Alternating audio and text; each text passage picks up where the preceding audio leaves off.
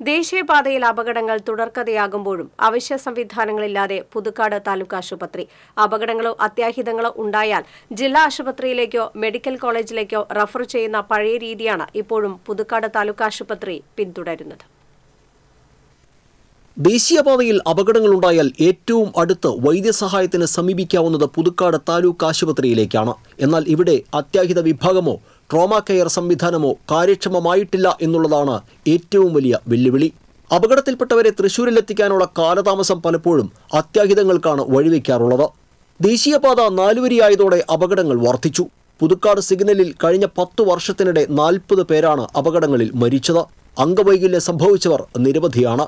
ഇതിനു പുറമെ സാധാരണക്കാരെ ഏറ്റവും അധികം ബാധിക്കുന്ന ഒ വിഭാഗത്തിൽ പ്രത്യേക ടോക്കൺ സംവിധാനം ഏർപ്പെടുത്തണമെന്നത് നാളുകളായുള്ള ആവശ്യമാണ്. ഒ പിയിൽ രോഗികളെ പരിശോധിക്കുന്ന ഇടത്തും തിരക്ക് നിയന്ത്രിക്കാൻ സംവിധാനമില്ല. ഒരു രോഗിയെ പരിശോധിക്കുമ്പോൾ തന്നെ പുറകിലും വാതിൽ കടന്നും രോഗികൾ നിൽക്കുന്നത് പതിവ് കാഴ്ചയാണ്. തോട്ടം മേഖലയിലെ സാധാരണക്കാരായ നിരവധി പേർക്ക് ആശ്രയമായ താലൂക്ക് ആശുപത്രിയിൽ പ്രായമായവരും ഭിന്നശേഷിക്കാരും തിക്കിത്തിരക്കി ഒ പി ടിക്കറ്റ് എടുക്കുന്നത് പതിവാണ്. പ്രസവ വിഭാഗം ഇനിയും പ്രവർത്തന സജ്ജമാകാത്തത് മറ്റൊരു പോരായ്മയാണ്.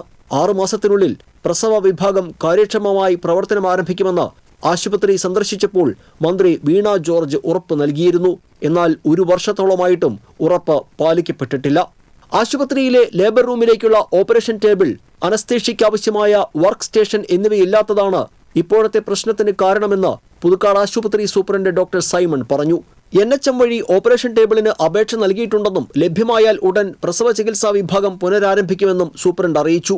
ഡയാലിസിസ് സൗകര്യവും മികച്ച ദന്തരോഗ ചികിത്സാ വിഭാഗവും സ്പെഷ്യലൈസേഷനുള്ള പന്ത്രണ്ട് ഡോക്ടർമാരും ഇരുപത്തിനാല് മണിക്കൂർ ഡോക്ടറുടെ സേവനവും പുതുക്കാട് താലൂക്ക് ആശുപത്രിയിൽ ഇപ്പോൾ ലഭ്യമാണെങ്കിലും അവശ്യ സേവനങ്ങൾക്കായി കാത്തിരിക്കേണ്ട ഗതികേടിലാണ് നാട്ടുകാർ. T C V Puthukkad.